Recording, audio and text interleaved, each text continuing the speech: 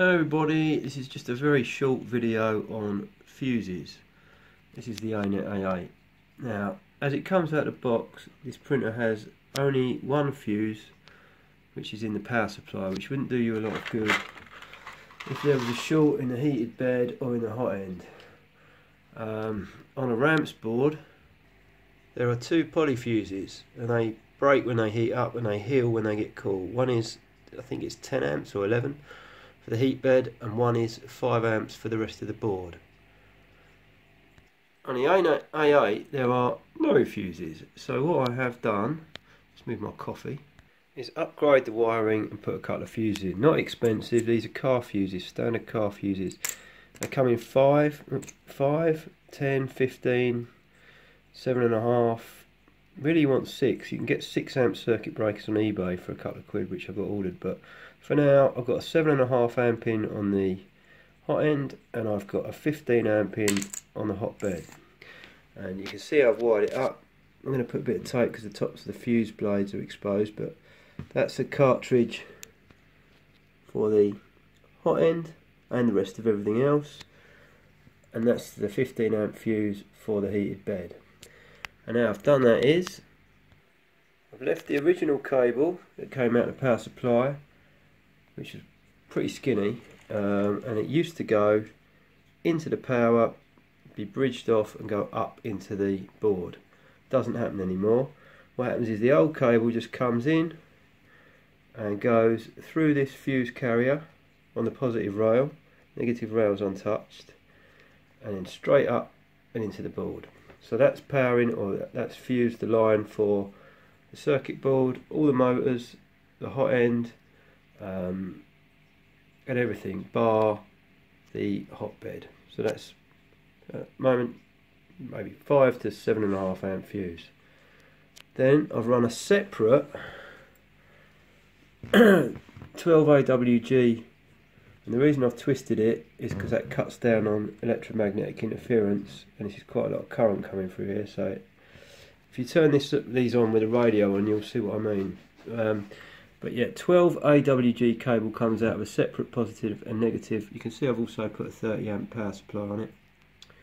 Um, I don't know if I covered that before, but anyway, look, separate cable, dedicated cable, all the way up. Comes in, and these, these are it here. Okay, so the black one goes into the negative on the MOSFET power for the power into the MOSFET. This is the external MOSFET. I've done a video on that as well uh, and the hot the hot rail, the positive rail, does the same thing but via this uh, 15 amp blade fuse. So if there's a short on the bed, instead of pulling everything through it and burning everything out, hopefully this fuse will blow, you whack it open, put a new fuse in. You could even use a circuit breaker type thing. Um, so that's that's that. So I think this was about, I don't know, quid. That was about £1.52 quid. These are about 50p each. Worth doing. The cable, AWG 12, these are used on drones for the battery. You see how thick that is, and that's a lot better than the cable that come with it. Wasn't even probably, oh, I don't know, it was alright but it was getting hot. So when you do, it's best practice when you do put um, high current cable on, apparently, I never used to do this, a lot of people just strip the end off, stuff it in and screw it down. And they end up with melted connectors because what you can get is you can get uh, the, the the wires inside are not all compressed together and they, they arc inside, tiny little arcs and eventually causes a lot of heat and it can melt the connectors. So the way around that is to get some of these, he's got these, uh, these, um, I don't know what the hell they're called to be honest, insulated sockets, eyelet things scooch them on and then you could do it with pliers but you know for a tenner off uh, eBay or whatever scrunch them down with that.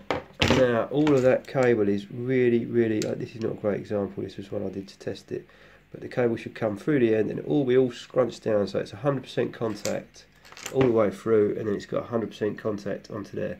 And just periodically check these because if they work loose that's when people get melted.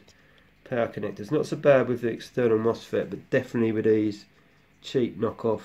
These not, you know, they say they're rated for 10 amps. I doubt it. I think they're copies I don't know. I don't want to badmouth them, but yeah, that's why that that's why things like that melt, and that leads on to the MOSFET. And then if you're going to do the MOSFET, you might as well put the fuses in. So yeah, I hope that helps. So excuse the crappy drawing, but that is the way it will work. Power comes in from the mains, 12 volts out. On the one side you've got your 6 amps going to the power into the ANET board with a corresponding ground. That then goes on off to the hot end and the motors and what have you. On the other side you've got a separate power ground and then the fuse on the positive 15 amps. The DC in on the heated bed MOSFET. Okay, this green thing is just the uh, signal, so we're using the old MOSFET that would have heated the bed just to trigger the new more powerful one to heat the bed. So when that gets a signal, it basically bridges that to that and passes it down to the bed. So you've got a fuse on the bed and you've got a 6 amp fuse on the board and then hence the motors and what have you. So hopefully that clears up the wiring a bit. So yeah, it's all working. Uh, just a quick test, printing out a few cogs for a PCB mill. You can see them, they're coming out quite well. Uh, all working, nothing's changed, just made it a bit safer. So I hope that helps and I'll see you all later. Cheers, bye.